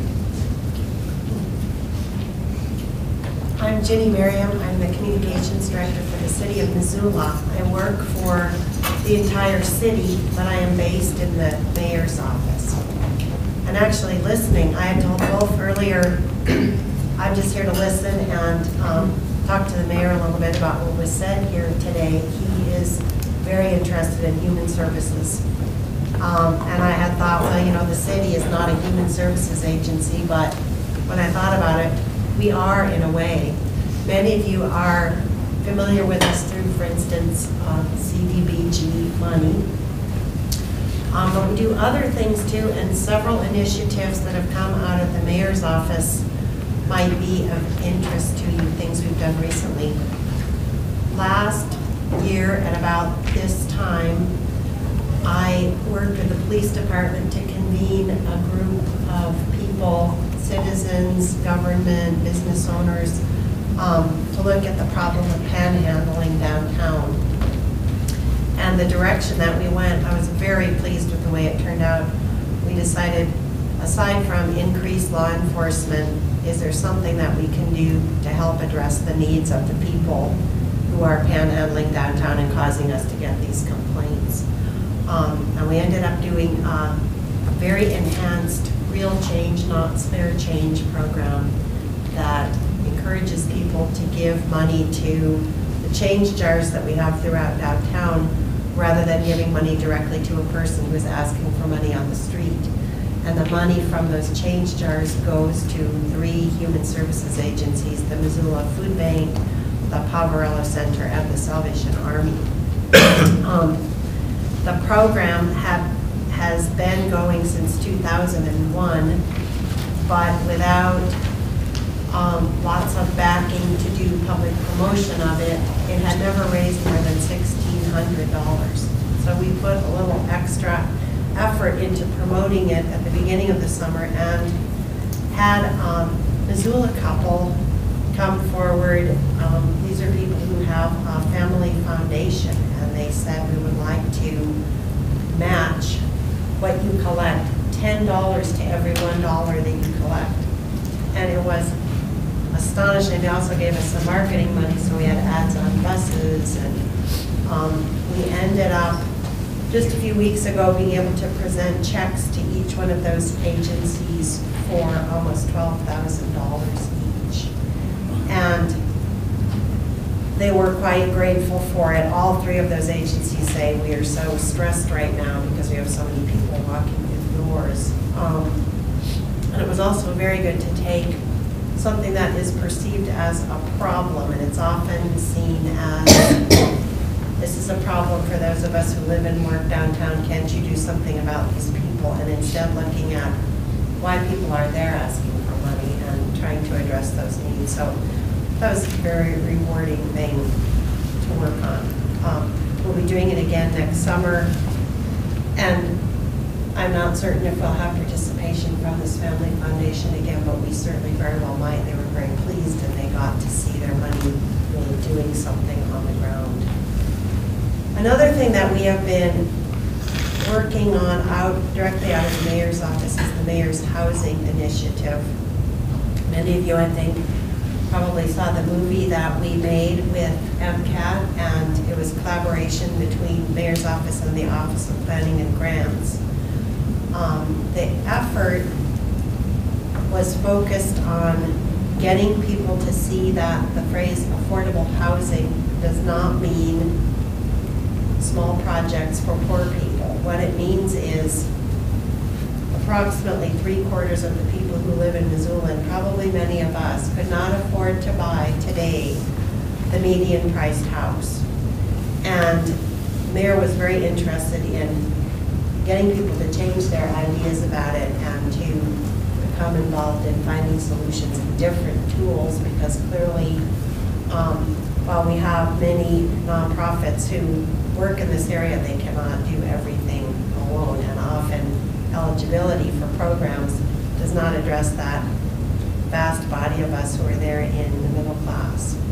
Um, we formed the mayor's housing team, which some of you are on, and I've been talking for about a year and a half, developing a proposal for city council, which they just recently endorsed. And it is a menu of tools, and we don't even think probably that everything mentioned, um, that that everything possible is mentioned, but it means that we have the go-ahead from city council to start looking at what we might be able to do that would help large numbers of people.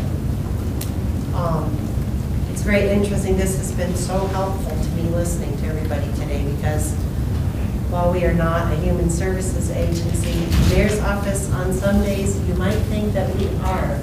We have people who come in and say, I want to talk to the mayor, I have nowhere to live, I have disability, I have whatever challenge, and we do lots of referring, and we do lots of um, collaboration building in the community.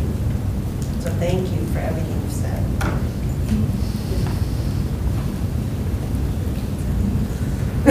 Well, I think of them as the human services agency. Because I get, I get funding from them for one, but um, I'm the executive director of Missoula Correctional Services. Our agency has been around in some form or another since 1977, but it's definitely changed through the years. It's gotten bigger, it's expanded. At one time, we were a state facility, and now we are a nonprofit, um, which has been a good thing. Uh, Throughout that, you know, throughout all of those different changes, our first goal has always been public safety. And that, you know, means different things to different people, but our method of doing public safety is through um, working with offenders, holding them accountable for their actions, um, at the same time providing resources to them, um, teaching new life skills, um, helping them with employment issues, helping them with housing, with the idea that we can, if we get those resources together and, and they learn some things, that they can become law-abiding um, members of our community. We actually offer, offer six different programs um, that receive funding through the city and the county and the state. the most visible one that I think people, you know, they always think of us as being is our pre-release program. Um, that program houses 90 offenders on inmate status that have come out of the state prison system. And the goal of that program is, again, to work with them in transitioning back out into the community in a healthy fashion. Also, the goal is for us to see if they're ready to do that.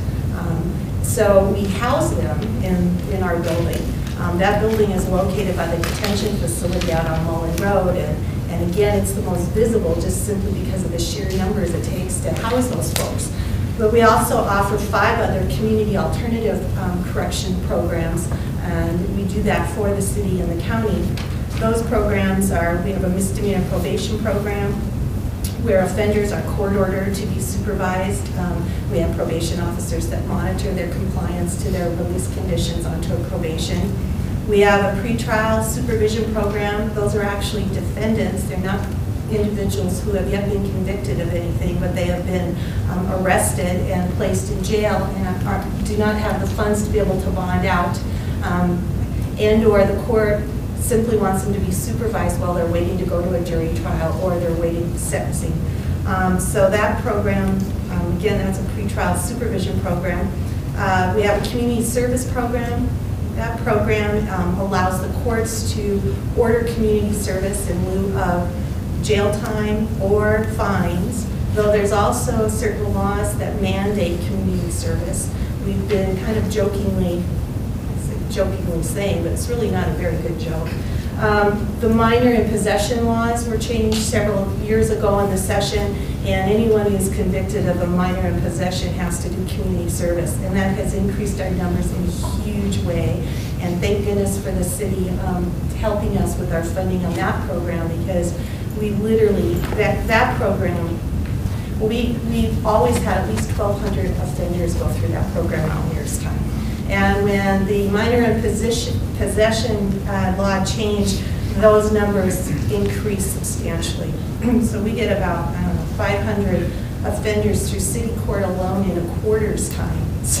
So, so anyway, that's a big program. Um, and some of you in this room probably have had community service workers work for you because what we do is we place offenders at nonprofit or government entities that need um, work in some fashion that they can't afford to have, you know, they can't afford a staff person for.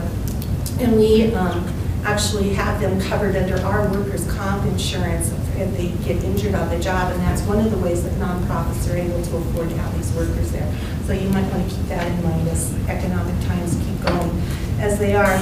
Uh, we also have what we call an enhanced supervision program. That program is one where um, the state parole and probation office, if they're having particular problems with an offender and they want to give them one more shot, but they don't, you know, versus sending them back to prison, they can ask that we um, supervise that program where we see them on a daily occurrence every day.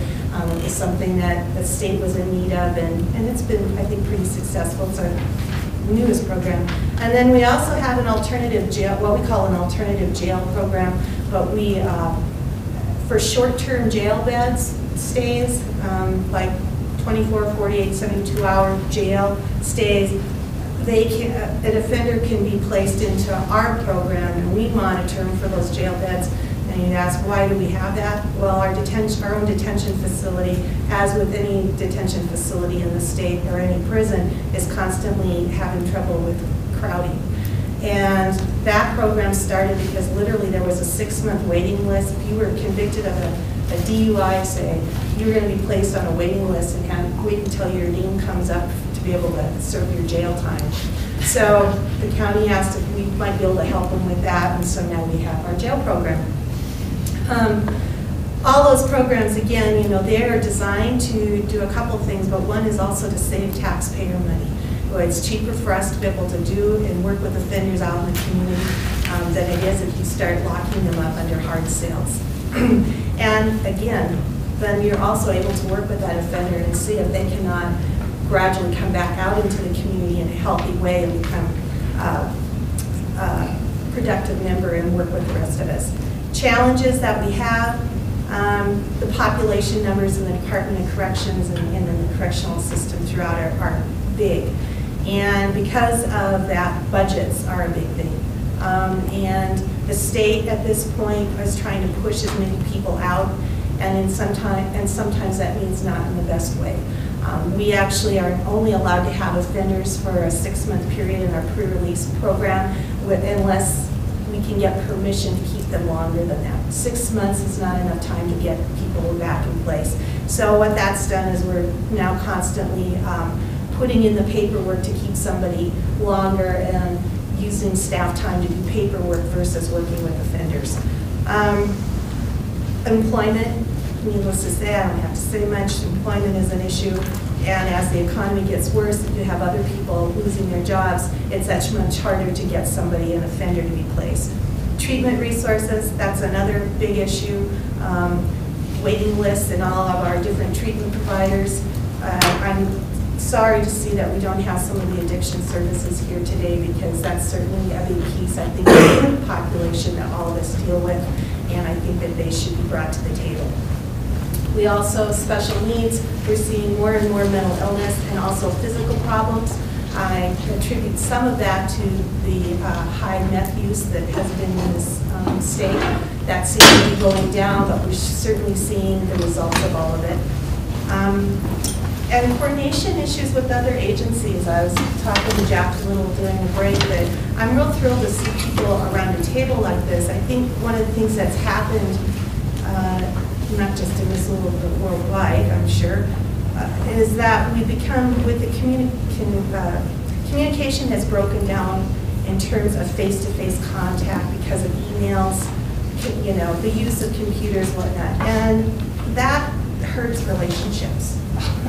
One of the things I would say is a success this year is that we've actually had some different groups come to our facility to sit down face-to-face and let's talk about what's going on and let's re-coordinate um, and try to work that out. We've had navigators from job service has been over, vocational rehab for the state has been over, and we want to see more and more of that taking place because it- it's, you can't do it all through emails. Um, Challenges, of course, costs um, with little increases from the State Department of Corrections, so we're hoping to change that in the session. Recent successes, you'll love this one. Uh, We actually received a grant to do some domestic violence um, stuff, and we didn't even apply for the grant, somebody else did. Asked me, asked me if I, leave Santa I think there's a new way you have to do this. I wanna know those I go to have lunch with this group, and they said, well, we want to give you thirty-eight thousand dollars, and here's what going to do. And my response is, who am I to refuse money in that process? So, uh, And future projects, we did respond to um, a request from the Department of Corrections. They put out a proposal for a pre-release facility up in Kalispell. We've been working with Kalispell for over a year now, looking, helping them look at their system and talking to them about what their needs are. I don't know that we're going to get it. Um, Money seems to be more of an issue for the department than programming, and so we're in the- still in the process. We're hoping for the best, but I think that that's one of those things, you know, our community's done such a great job. There's other communities out there that need all, all of our kinds of resources too, and so we're hoping to do some of that. That's it. Thank you. I think I went over. Uh, Enhanced supervision, Larry and I can use some of that. I know. And we talked a little bit. Be good, that'd be good. Uh, Opportunity resources. Uh, Actually, look, before I get started, look around the room, I'm a little disappointed. I was in a a suit and everything this morning in another meeting, and I'm going to this meeting, so I, I got out my gray sweatshirt and wore it here. My goodness, do you folks know that tomorrow afternoon, there's this event. Anyway, uh, go Grizz. Uh,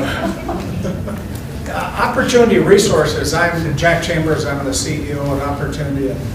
And we're probably uh, one of, if not the uh, oldest nonprofit in this room. We started in the late 40s and uh, incorporated then in the 50s. But we've been around a long time. We serve adults with disabilities.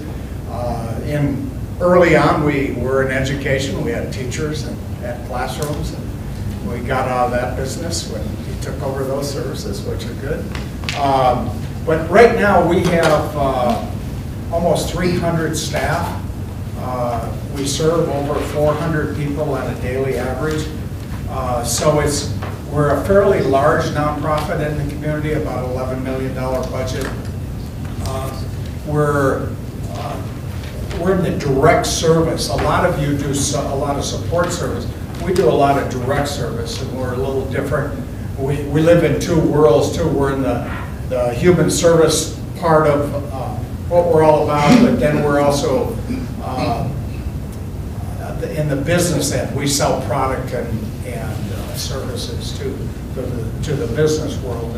But in the, in the last, uh, gal, in, in the la, I remember being in this room a couple years ago and grilling a bunch of legis, legislator wannabes about uh, issues in social services. I don't know if any of you were there, but anyway, and one of the things I brought up was uh, what I felt was, uh, it was certainly a current issue, but it had to do with hiring uh, quality direct care workers. And, and we were having one heck of a time. And, and we're hiring people that uh, we'd never hired before. And unfortunately, or fortunately, and, and some, it goes both ways, that's not an issue today.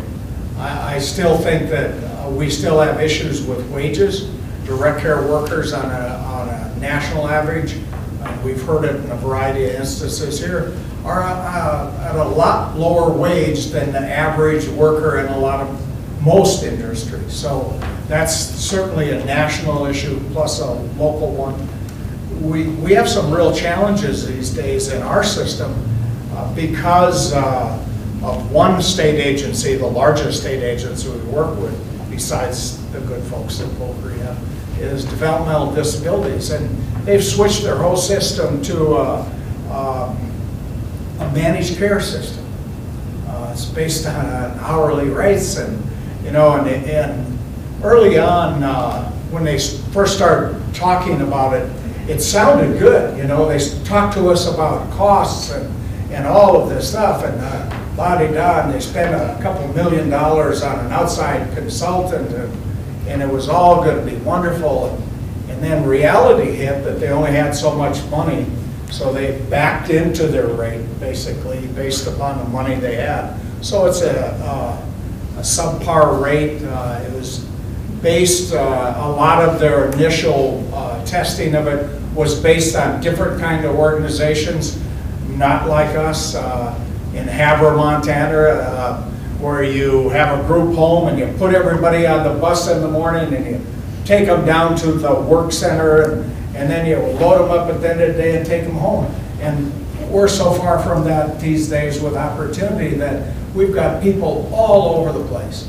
And uh, it, it doesn't work in our system because I have a, a dozen, if not hundreds of people who, that we work with that get up every day and decide whether they're gonna come to work or not. But yet I have to have the staff there to, if, if in had, if in fact they do show up. So it's a, it's a difficult system, very punitive system. It's gone from uh, what I consider real quality kinds of services, and I, I really I took a, and take a lot of pride in, in opportunity, resources being a very, very much a leader in, in not only in Montana, but the whole Northwest.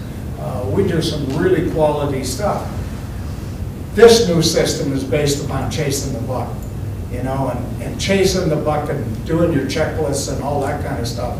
And uh, really don't think much about people. So that's a frustrating thing. And, and uh, where it's here to stay for a while, and we'll have to live with it. Get over it, Jack. Uh, So, along, uh, along some of those lines, uh, some of the challenges I see ahead are with uh, the whole Medicaid system that we filter down money we get from the feds. Medicaid system is a, is a huge system in the United States. I think it's, it's gone beyond its means, so something is gonna happen sometime. Uh, We hear about the, you know, you hear about the auto industry and everything else, and we will hear about the Medicaid system uh, sometime in the near future. Uh, So I think it's, it- it's something we need to be attuned to and uh, do what we can.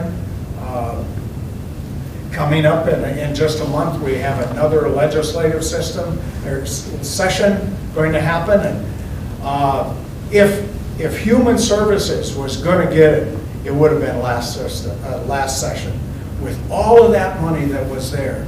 And if you can remember prior sessions, how some of them were extremely lean. Well, this session isn't going to be too bad compared to other states. That's good, and that's real positive, but it isn't going to be anything like the last session. So it's a kind of a dog-eat-dog. uh, We, we compete against ourselves for, for those dollars, so uh, it is, it is going to be tough. And uh, I think in, in order to, to really affect human services in the state, we have to have a a bipartisan kind of support of that. And so that's, that's a challenge coming up. We look forward to the legislature. The governor uh, talked about in DPHHS of, of having a two and a half percent provider increase. That's what he talked last spring, and now it's down to one percent. And, and uh, so it, those are challenges, those are tough times, but. So, uh, the fun things, I talked about opportunity in the business part of what we do. I think this last year, this last year, I get, I was uh, honored to serve as the chairman of the Chamber of Commerce Board of Directors. And, and so I- it, uh, I- as a nonprofit, I think I was the first chairman of that board. I snuck in there and they didn't realize it until I was there. Uh, But it is, it was kind of fun and, and I would, I think back to some of those meetings and, and some of those people on that board of directors, and I would like to bring them all right here and put them right in the middle and hear the things that we're about and what Missoula is about. Certainly, I always hear about that business part of it. And you can understand too that there's, there's an equal number of frustrations and, and things to deal with on the business side of running a business. And a thousand members in the chamber, and a majority of them are little teeny businesses, small businesses, and they, they struggle these days. But um, I think that uh, we, uh, we're kind of all in this together, and I, and so many times, the only, the one thing I felt I tried to do uh, as chair last year was, was it's not us and them. It's not those, those liberals running human service kind of things or, you know, us, anyway. It, it, this is a, Missoula is a, a community and, and we're a community. We're about the heart of Missoula. So anyway, I, I uh, felt that was a real challenge and a fun thing to do, but, and that's all I have. Um, I'm gonna get out of my comfort zone here for just a minute, and we're gonna change the agenda just a little bit. It looks like we're running a little behind, and I want everybody to have a turn to share, and our lunch is here. So if we could just grab our lunch and have a seat, and we'll just keep continuing instead of um, having an actual lunch break, that way we'll all have an opportunity. So if everybody want to break and get their lunch behind here. Me too.